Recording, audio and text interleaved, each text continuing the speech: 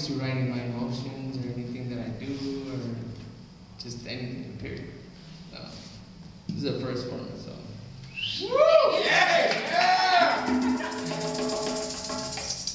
I hope that if anybody watches this, they don't get offended. That's not why I wrote it.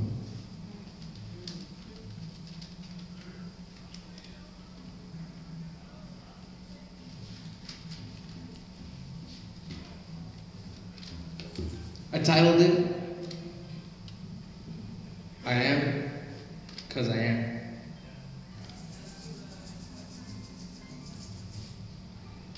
Proudly born to a family of migrant, hardworking, humble people.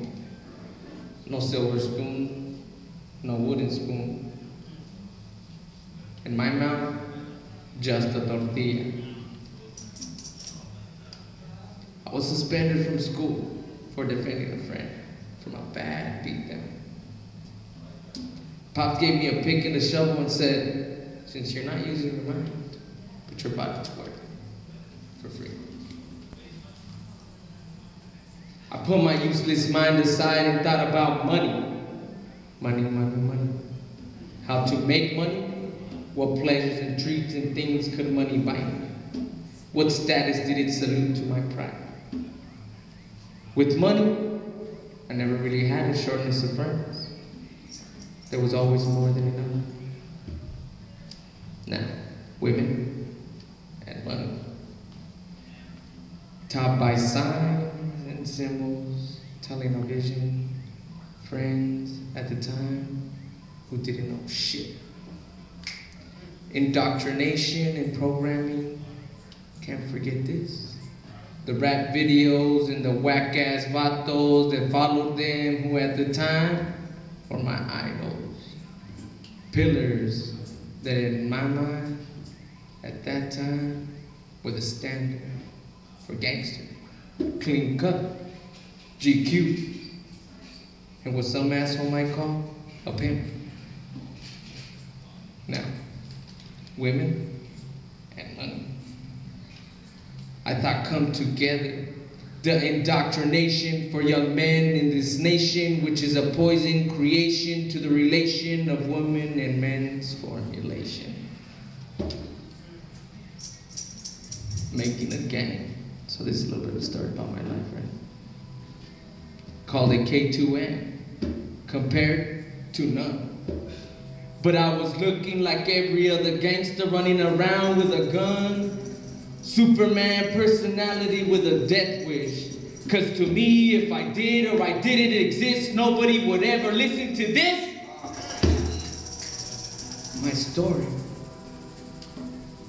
I had to struggle the streets, find my way out. Find my way out of defeat. I look around, most of what I see is death. Death of the mind, death of the soul, death of the spirit, death of the body. Minds trapped, souls crushed, spirit lights dimmed, bodies poisoned. Traps to my left, traps to my right. As I walk, a young student woman clutches herself. Painted as a criminal, looked at as a thief, a threat to her virtue. Looked down at for being from the hood.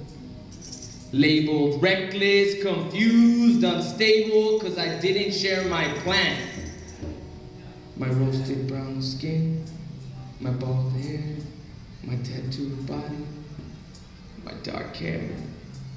My trained to be emotionless face as I look in the mirror and realize that there might be an outline, a sketch, a pattern, line or pattern before me to follow.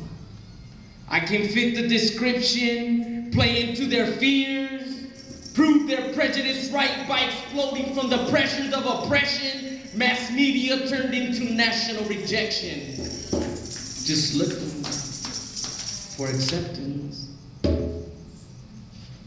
What is acceptable or the norm in America? Well, the norm would be Barbie and Ken. A couple of kids, all blonde, that's American. What is sub American? In my eyes, it looks black. Same scene, just fairer skin. And at some point in history, the me, the none, the non-American. The label and face for SB 1070 that encompasses red and brown skin and stuns us into America's rejects. Pushing us into a world of outlaws.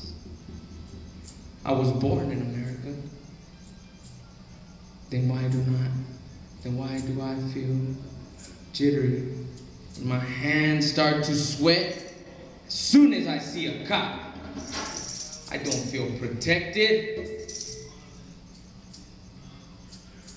Why are Border Patrol and U.S. Customs chasing people that look like me?